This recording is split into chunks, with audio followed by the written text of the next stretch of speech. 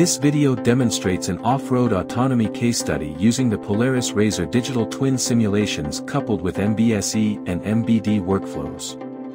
Particularly, the autonomous RZR performs visual servoing to drive on a dirt road and react to any obstacles or environmental changes. Here, we exploit AutoDrive ecosystem to model and simulate the vehicle and environment digital twins, and leverage System Composer to define a hierarchical system architecture of the off-road autonomy algorithm. The components and subsystems of the system under test are implemented as Simulink models right within the system architecture abstraction layer. This powerful tool suite also allows for traceable requirements engineering, efficient variant management, granular parameter sweep setup, systematic test case definition, and automated execution of the simulations. Here, we put the off-road autonomy algorithm, along with its variants, through 128 test cases constituted of distinct times of the day and weather conditions.